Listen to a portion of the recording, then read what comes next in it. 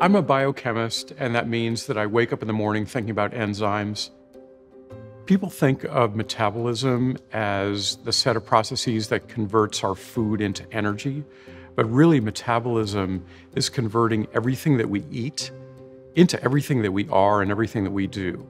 Our health is maintained by metabolism, and our health is disturbed by disturbances in metabolism.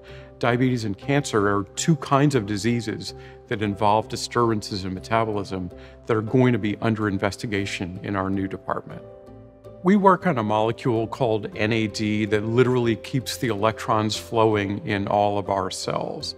Turns out it's sensitive to metabolic disruption and so, by determining how NAD is disturbed in a disease or condition, we can try to preserve it. When we see a particular way NAD is disturbed in cancer, we have insights into how to kill that tumor.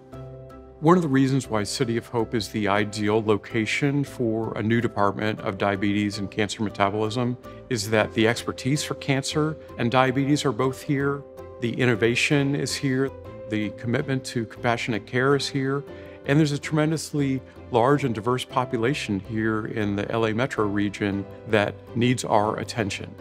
By addressing diabetes and cancer as disorders of metabolism, we think we can identify and stimulate the body's repair and resiliency pathways.